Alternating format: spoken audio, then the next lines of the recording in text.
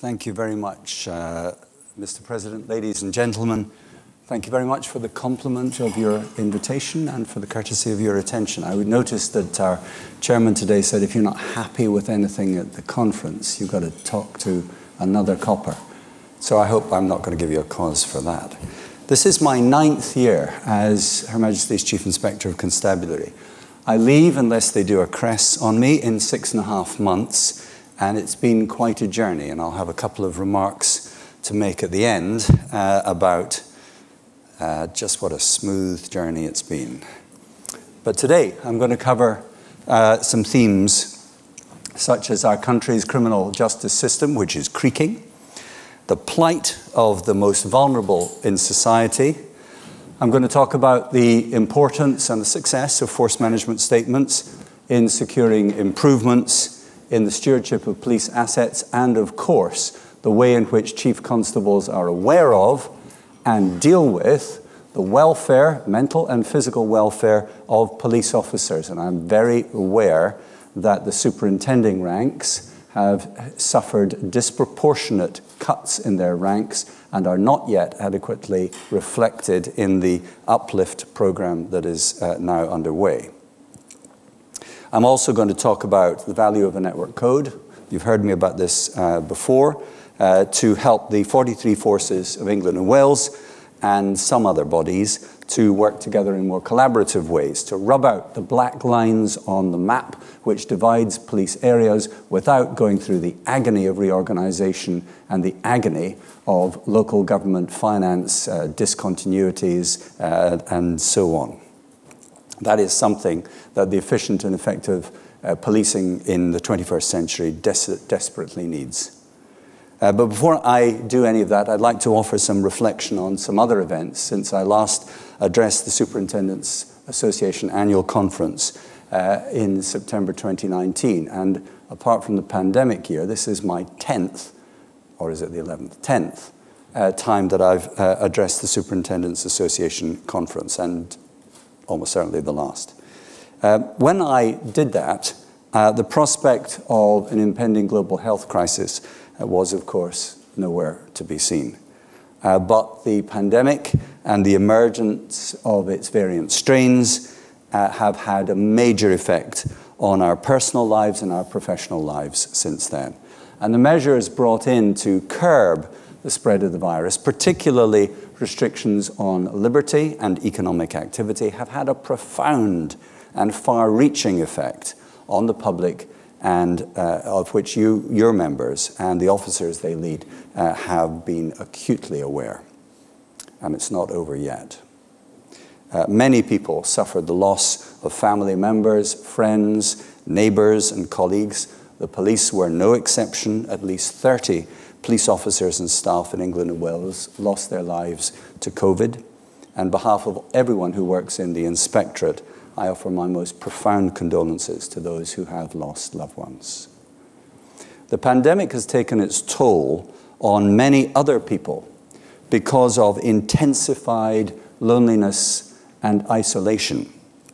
It has deeply affected people's mental health, as well as their economic and educational well-being and prospects. Some people continue to suffer the long-term debilitating effects of the virus, and they don't know when, if ever, they will get better. The public found it difficult to distinguish between the law and government guidance during the pandemic. Information from different sources was contradictory, and many people were left confused about what they were allowed to do and what they were not allowed to do. The frequently changing uh, content and nature of the regulations made it extremely difficult for both the public and the police to keep up. The first set of regulations covered 11 pages, the last set of regulations covered 123. In the light of this, the policing of the pandemic, in particular the policing of restrictions on movement, brought into very sharp focus the responsibilities and obligations of the public, the police, and the government. Primarily, as you all know, it is the responsibility of the police to enforce the law, to enforce the regulations which are the law. And in theory, at least, that should be a relatively straightforward matter. The first set of regulations were not complicated. You could leave your home if you had a reasonable excuse, and there was a non exhaustive list of 13 reasonable excuses. But the new regulations were, were accompanied by a considerable number of government issued guidance, which had no legal effect. Put simply, citizens were not under any obligation to do anything other than what the law said. And when the government published regulations and guidance, it didn't always make this important distinction sufficiently clear, neither to the police nor to the public. Now, emphatically, again, I say, the police's role is not to enforce government guidance if it goes beyond the terms of the law. That is what they do, the law. And in the United Kingdom, unlike very much of the rest of the world, the police are not the obedient and coercive arm of the executive government. Let's not lose sight of the police's wider response to the pandemic. It was, in many respects, exemplary. For the dedication of duty shown by so many officers, for forces' flexibility and willingness to adapt to rapidly changing circumstances, and to the national coordination provided by Operation Talla, for the police's collective contribution to keeping us all safe. I offer my thanks, my warmest congratulations, and very great praise. Very little went wrong. I'd like to turn now to the state of policing in general, and I'd like to begin by making an observation about culture in policing, uh, with which there is a very obvious link to some of the comments I've just made. The culture of the police has many very great strengths. It's a culture of determination, of courage, hard work, and achievement, of facing any challenge or danger and confronting it in full measure there is a considerable degree of goodwill in the police in making sacrifices, personal and otherwise, to protect the public, to deter crime, disrupt criminal networks, apprehend criminals, and make communities safer. Nothing should be done which could prejudice that. And with that culture comes officers' ready acceptance of risk all police officers, whether full time, part time, special constables, as well as police community support officers, police staff, and some other volunteers, all of them face risk every time they come to work. For many of them and their families, living with the risk is a way of life, an unavoidable and accepted part of the job of keeping other people safe. But it's not just their risk to their physical health. Many police officers are at risk of suffering from mental ill health. They do not, sorry, not only do they come under great stresses in the exercise of their duties, but they also face the most appalling and dreadful things. In many respects, policing is a dangerous job, and it is incumbent upon all of us to be mindful of that and to do what we can to help those who help us. Police superintendents have an extraordinarily important role to play in ensuring that officers and staff are properly cared for at work. And police leaders above those ranks have an, a very onerous obligation to ensure that the stresses on you, the superintending ranks, you who bear a very considerable span of responsibility and stress, that you are properly cared for too. Lockdown intensified and increased the vulnerability of people who were already vulnerable. During the first lockdown period, the National Domestic Abuse Helpline logged 65% more contacts and calls compared to the previous three months. There was also a noticeable increase in domestic abuse related demand for victim support services in the weeks following the easing of lockdown. This figure may not reveal the true extent of what was happening behind closed doors. Children living with domestic abuse in some form or another will bear scars, often for life. Even if they were not physically harmed, it is highly likely that they will have been psychologically harmed just by being there. Many children will be profoundly affected by the fact that they witnessed and heard domestic abuse at home, or they hid from it and knew that it was going on. And that feeds into crime. It must never be overlooked that children who grow up in poverty and suffer severe neglect have a much higher chance of becoming offenders in future. A very high proportion of people in prison were, in one way or another, victims of domestic abuse when they were children. Many of the people who end up in prison or who are drawn into, criminal, into the criminal justice system are people who are ill and not bad. They've done bad things. They may have harmed, alarmed, or threatened other people. But in a high proportion of cases, what these people have been through in their lives, very often as either victims or witnesses to domestic abuse, has made a material contribution to how they turned out. If we are to break the cycle of offending, we need to have a sound rehabilitation system in place. In many cases, people commit offenses because they have no money, no job, no stable accommodation, no food, and they're often dependent on alcohol or drugs. I'm not telling you anything you don't already know, of course. But in too many respects, the promises of rehabilitation are not kept. Many people walk out of prison with 46 pounds in their pocket a bag containing their possessions, nowhere to live, no adequate preparation for life outside. Very often they simply go back to the environment and the associations and the incentives which sent them to prison in the first place. The crisis in criminal justice has gone on for far too long. And so has the crisis in adult and child mental health provision. Many people who have mental ill health as adults began that journey into ill health when they were children. And to make matters worse, in an intolerably high number of cases, children and young people have difficulties gaining adequate access to NHS treatment for mental ill health. As every superintendent is acutely aware, unless the health and social care system is fixed, and people can get the support they need from it when they need it, then people will continue to be vulnerable. That may lead them unavoidably and unnecessarily into the criminal justice system and severe crisis in their personal lives from which they will never fully recover. The perilous state of the criminal justice system has been widely criticized for many years and the court backlog is a significant problem. In recent years, there has been a vast reduction in the number of cases brought to justice. In fact, the actual number of cases going into the criminal justice system is at the lowest level it has been for many years. Yet, for some reason, court backlogs and waiting times have become inexcusably long.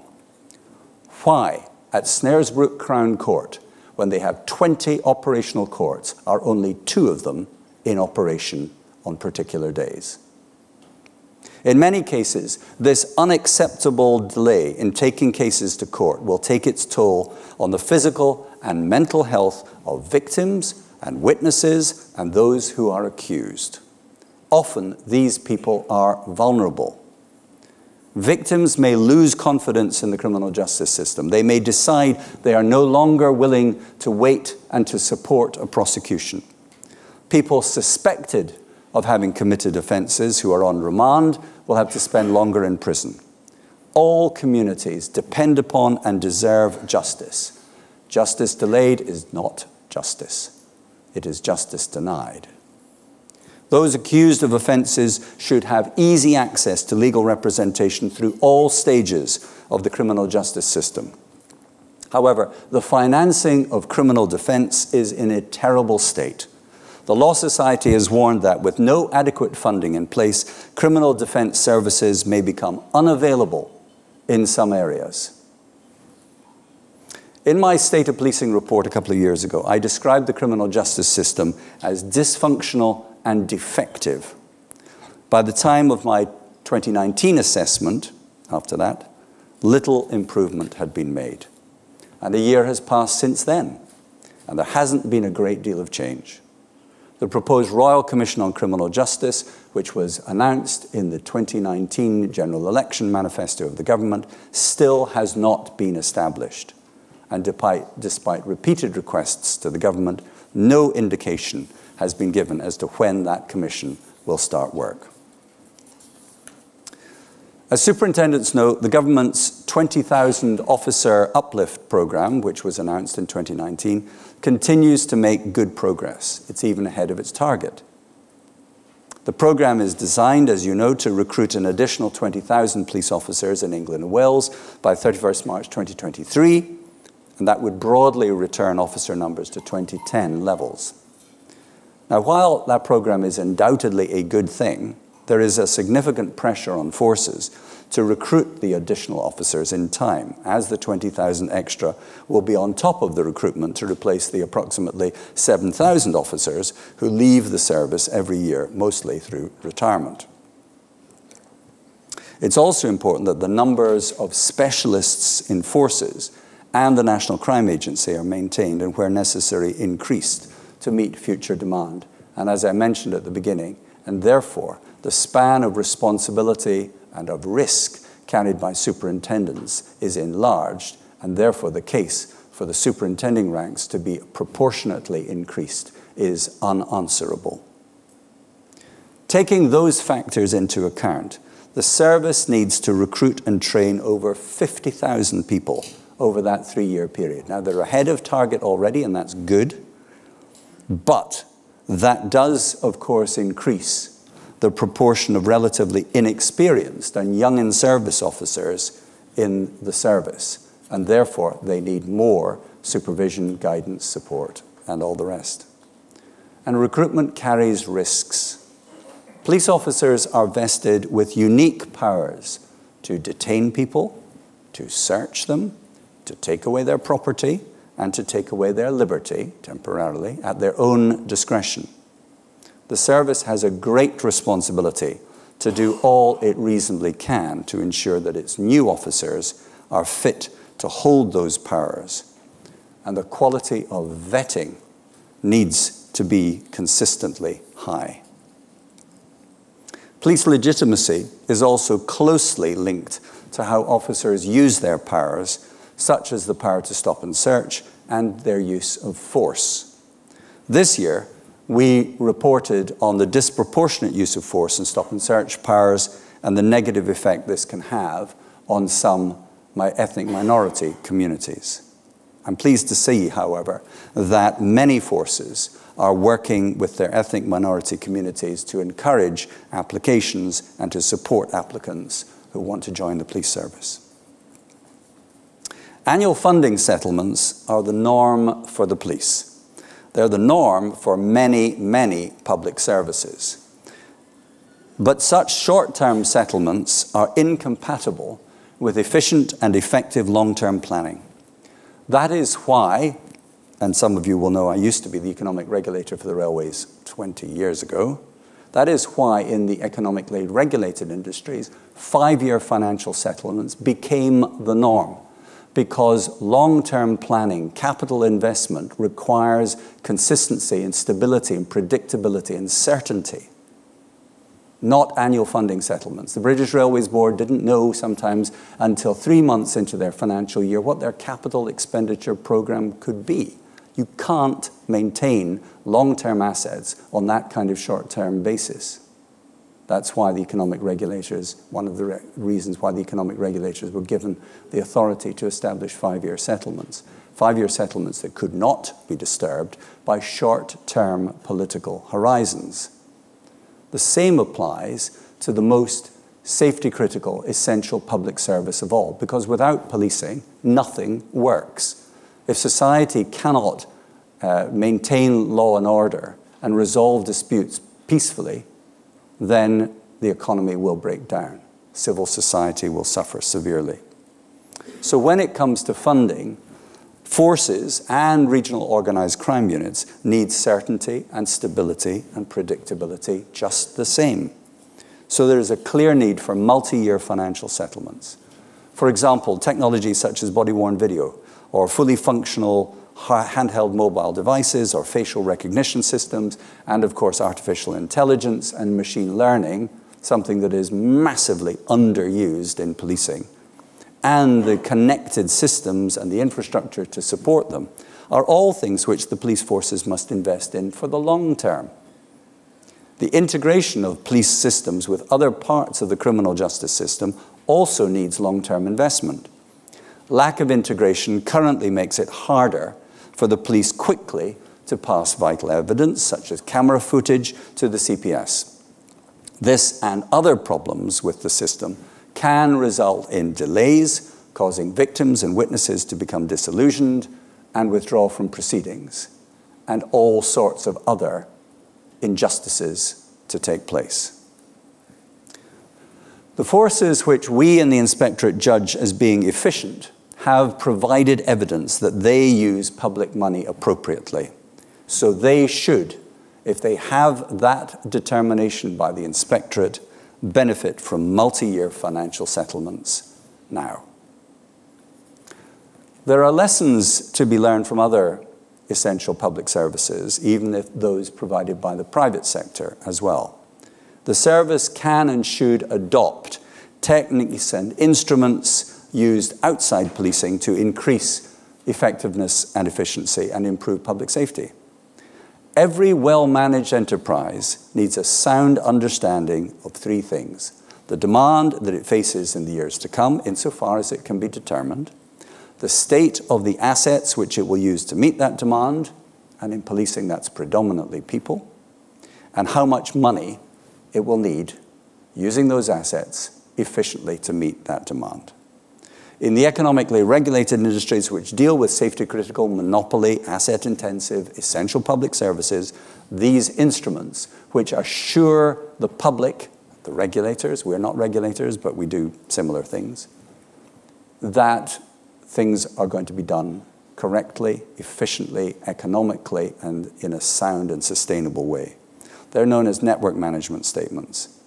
And since policing, as I've mentioned, is probably the most essential safety critical public service of all, we have introduced those and we've called them force management statements. They're modeled on their regulatory equivalents. There are many differences, of course. They are much harder to do than any of the network management statements for gas, water, electricity, telecommunications, postal services, and other essential services, but they have to be done. And they are already making material uh, improvements to the quality of policing. After doing his first force management statement, a senior officer in one of the Yorkshire forces, I won't say which one, said to one of my staff, and he used the um, the metaphor of alligators swimming around. He said, Before I did my first FMS, I thought the alligators were swimming around my ankles. After I'd done it, I realized they were swimming around my waist. It is essential that the leadership in police forces have that sound understanding of demand, asset stewardship, what it takes to look after those assets and to ensure their efficiency and economic operation to the highest practicable level and the money they need in order to meet that demand.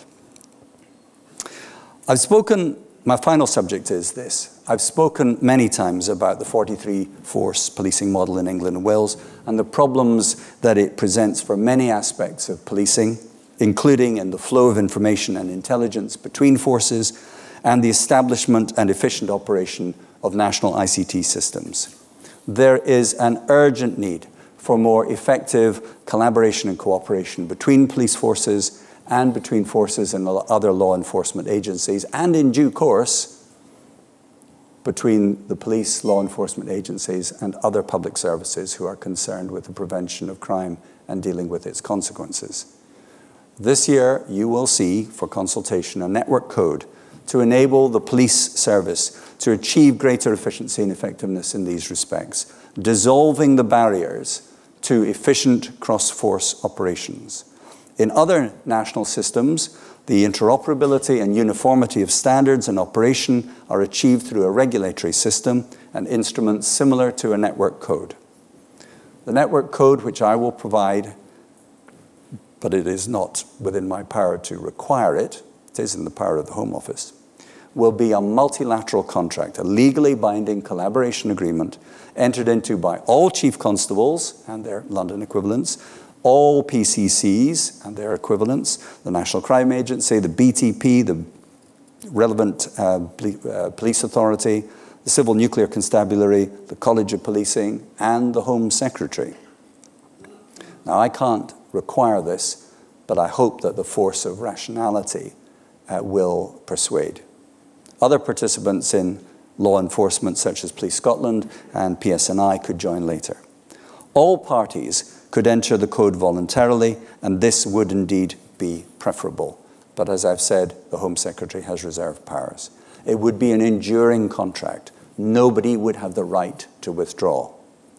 The initial conception for the network code for law enforcement was that it would apply only to police ICT, the specification and procurement of police ICT, and indeed that is the most urgent, to ensure that over time there would be complete interoperability of ICT systems. But the code can and should go further.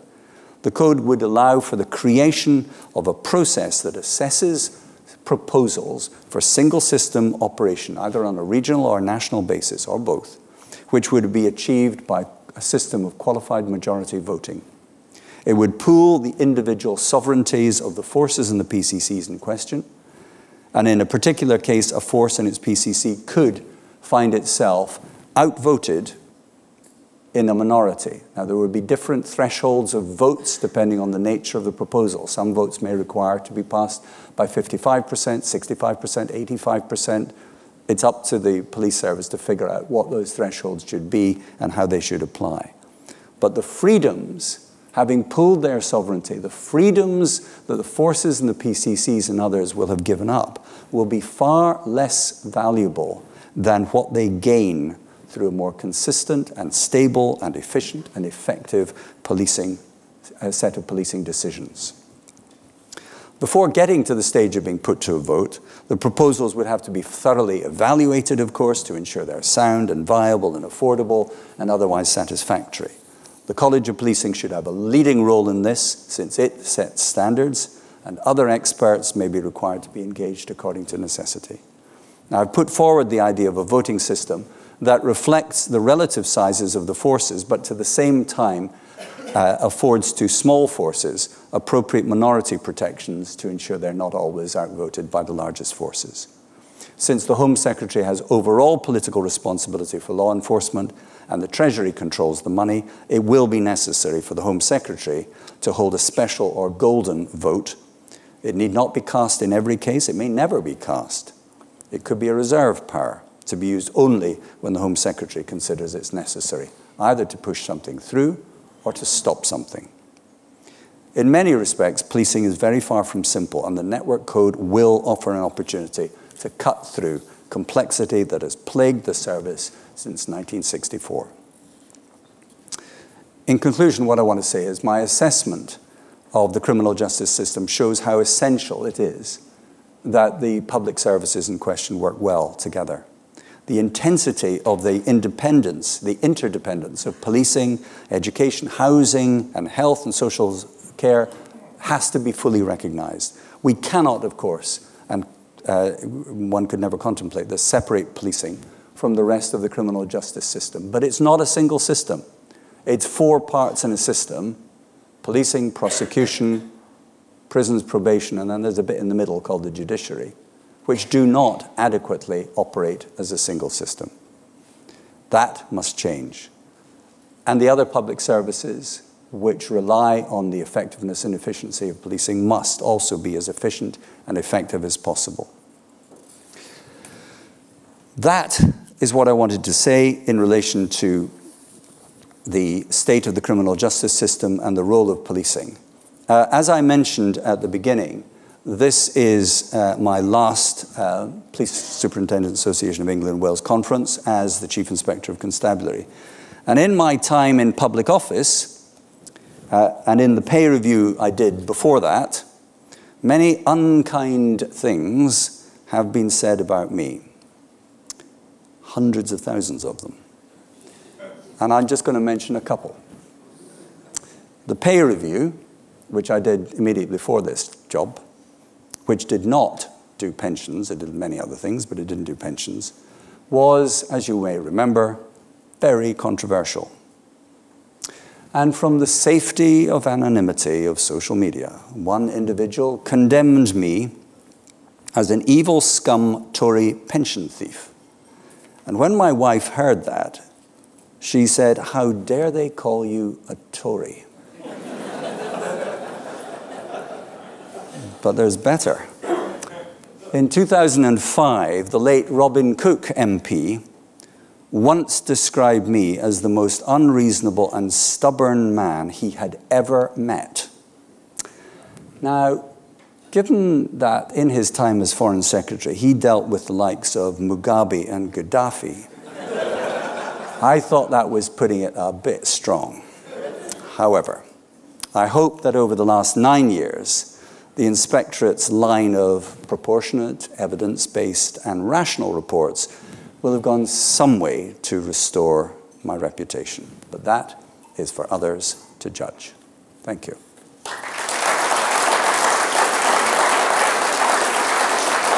I've gone on too long. So I've gone one minute and nine seconds over. You have, Sir Thomas. But and um, but if there's flexibility, I'm happy to take questions. But otherwise, I'll yeah, get off. The, we have got some questions, and I hope you don't mind. We're going to ask you a couple of them, oh, no, because that's fine. That's they're very popular. Um, um, we are going to start with uh, that report, actually, um, because the question is quite simply: uh, You were the architect of the report that led to police pay being governed by the PRRB. Do you think the process is fair and delivering fair outcomes for the police? I think it is fair um, because the police negotiating board, which preceded the police remuneration review body, um, uh, was uh, in many respects paralyzed uh, by the highly sophisticated and effective techniques of the Police Federation. And the result was that um, it became extremely difficult in many, many cases to reach uh, uh, an adequate settlement, and it took a long, long time.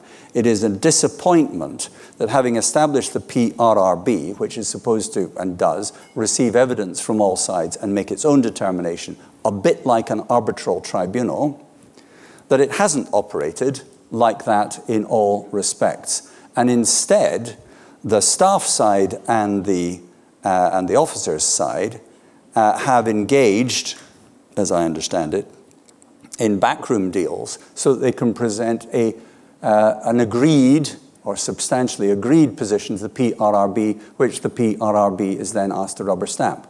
That's the police negotiating board resurrected from the grave.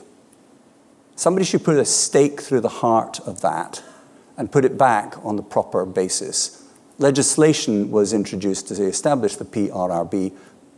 Police, uh, sorry, pay review bodies do work well in other sectors. It should not be deflected and disabled by, um, by such techniques. I'm very disappointed that if those practices are continuing, that uh, the PRRB's uh, functioning is being uh, jeopardized.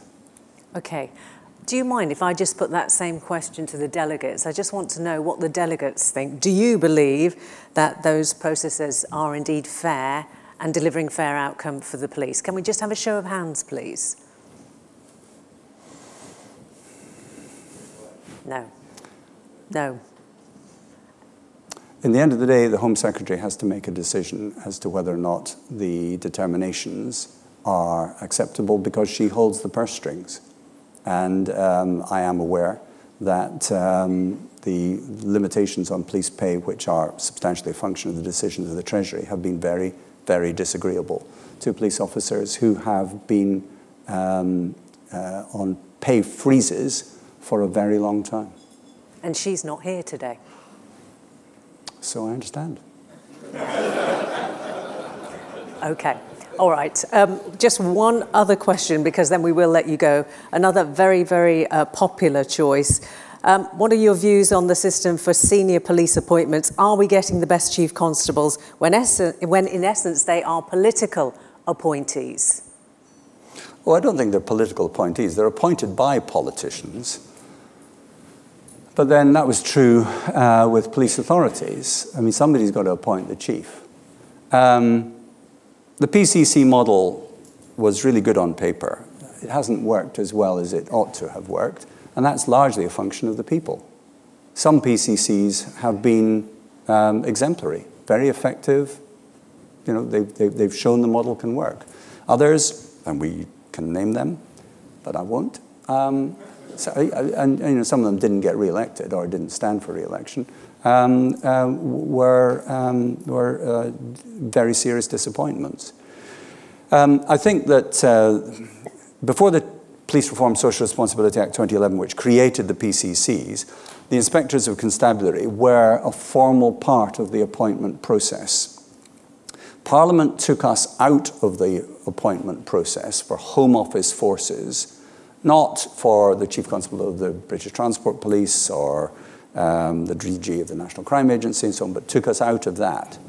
And uh, very frequently, uh, my regional HMIs have been asked by PCCs, please come and help us. We have a range of candidates. We would like your opinion on them. And we are not allowed to answer. We're the only people who are not allowed to answer. And yet, it is highly likely that we will have seen over the years those candidates for chief, chief constable posts, I'm talking about chief constable posts, when they were superintendents, ACCs, and DEPs, and maybe chief constables in smaller forces. We know a lot about these people, and yet we're the one class of people in the whole country who are not allowed to express an opinion. I have asked the four Home Secretaries and the six permanent secretaries that have been in office in, in my time, will you please change the law? Don't put us back into the senior appointments panel and the whole mechanism.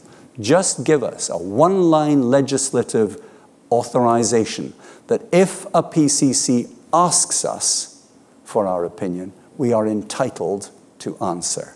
This gagging of the inspectors of constabulary in relation to one of the most important decisions a PCC will ever make is unsustainable. Okay. Now I am being told to uh, stop because we are nearly eight minutes over. Sir Thomas Winsor, thank you very much for joining us. Ladies and gentlemen, please give him a round of applause. Thank you very much.